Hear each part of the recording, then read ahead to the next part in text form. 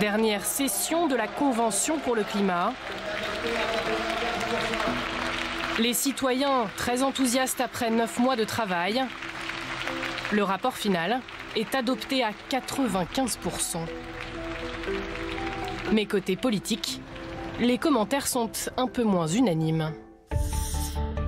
La Convention citoyenne censée répondre à la crise des Gilets jaunes accouche de propositions toutes plus loufoques les unes que les autres, sans conscience des réalités économiques et sans aucune pertinence sociale et écologique. Tout ça pour ça. À droite, chez les républicains, on dénonce une logique de décroissance dans les propositions des citoyens. On est dans la contrainte, les interdictions, les taxes, les impôts, les impôts en tout genre. Moi, je pense que c'est pas comme ça qu'on réconcilie les Français avec euh, avec l'écologie. L'écologie, ça doit être porteur, ça doit entraîner, et donc il, faut réconcilier écologie et économie. Et, donc cette approche de contrainte, de punition, de taxes, de dire on va matraquer, on va taper, je ne pense pas que c'est comme ça qu'il faut procéder.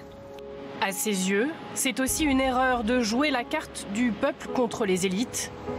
Pour d'autres, au contraire, cette expérience citoyenne permet d'aller plus loin que dans le débat politique habituel. Toutes les actions qui iront dans le bon sens sont retenues par les écologistes. Ça fait longtemps qu'on entend parler euh, de critiques euh, parce que économiquement ce serait pas viable, parce que socialement ce serait pas viable, alors que les citoyennes et les citoyens ont démontré qu'avec un programme avec 149 propositions, on peut faire des choses qui vont dans le bon sens de l'économie et qui protègent euh, la planète également.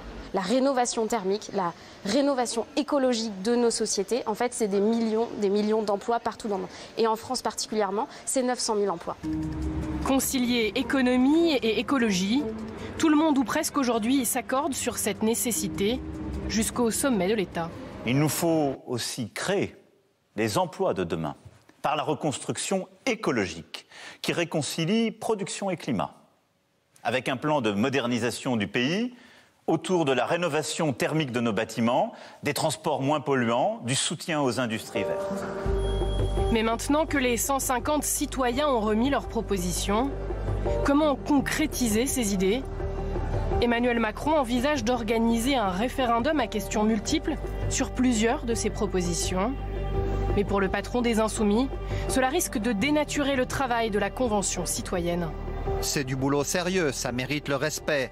Je ne voudrais pas que Macron s'amuse, après nous avoir dit qu'il prendrait tout sans filtre, à faire son marché, à prendre ceci ou cela, parce que cela lui convient pour une opération politicienne. Les intentions du président seront bientôt connues. Emmanuel Macron recevra les membres de la Convention lundi prochain et il devrait annoncer en juillet s'il se lance dans un référendum.